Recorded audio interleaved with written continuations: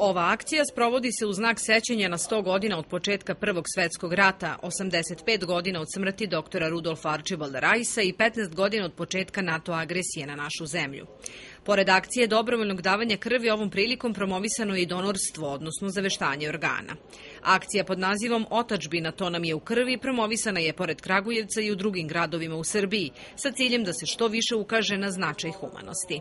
Nakon Novog Sada, e, Požarevca, Jagodine, Šapca, Bora, danas smo u Kragujevcu, a sledeće nedelje zvanično završavamo akciju u Beogradu. Inače, tri su povoda ove akcije. Jedan je 100 godina od početka Prvog svetskog rata. E, jedan od događaja u tom ratu je između ostalog i da je e, naš borac iz okoline Ljiga i sela Imankovac, Budimir Gajić, na poziv hirurga pukovnika Krstića u okolini Soluna 1916. godine prvi put dobrovoljno dao krv.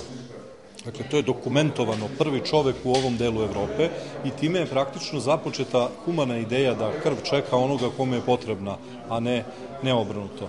U želji da promovišu davalaštvo i donorstvo, članovi policijskog sindikata angažovali su javne ličnosti kao promotere ove akcije širom Srbije. Među njima je i glumac Mirko Babić. Samo treba neko da, da probudi malo narod, inače normalno ima naroda, mnogo dobar narod naš. Samo treba, treba da i medijski, evo recimo kao i sindikat policije, ne znam dalje, samo se čuje. Jer ima utisak da, da mi samostalno dođemo, samo čisto damo krv, dobrovoljno, malo smo tu lenji, jel da? U službi za transfuziju krvi ističu da su zadovoljni organizovanjem ovakvih akcija i da su prikupljene jedinice krvi namenjene pacijentima Kragujevačkog kliničkog centra.